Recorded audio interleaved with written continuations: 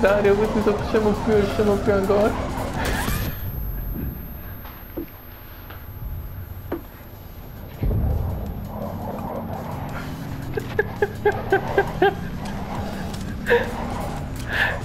Mi sto so... Mi sto soffocando. Mi sto soffocando.